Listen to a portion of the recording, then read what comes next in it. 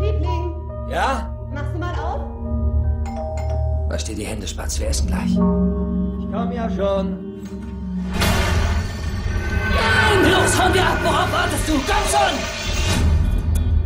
Was macht der Fall Shelton? Wir gehen darauf ein. Die haben ein Mädchen getötet. Etwas Gerechtigkeit ist besser als gar keine. Erklären Sie das dem Ehemann. Nein, das verstehe ich nicht. Durch Darbys Aussage landet Ames in der Todeszelle.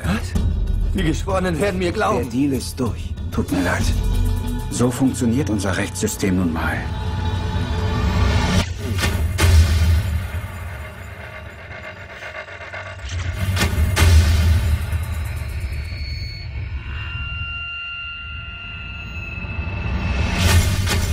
Eigentlich sollen Hinrichtungen völlig schmerzfrei verlaufen, doch hier ging es zu wie in einem Horrorfilm.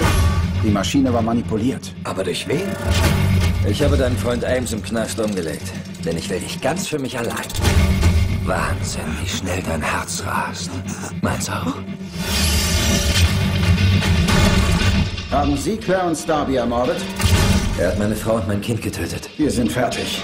Herr Anwalt, Sie sollten Ihre Verabredung mit Richterin Roberts um halb eins lieber absagen. Hallo?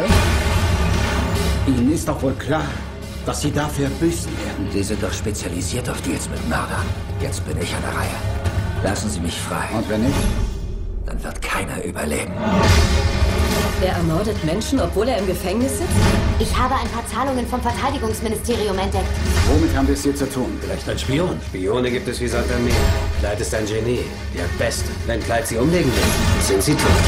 Die Stadt wird hermetisch abgeriegelt, mit einem bewaffneten Polizisten an jeder Ecke. Er sitzt im Knast, weil er das so will. Ich lasse das ganze System über euch zusammenkrachen.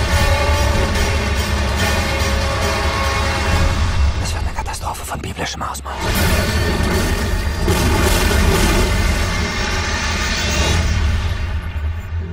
Sie hören jetzt auf damit. Ich bin doch gerade erst warm gelaufen.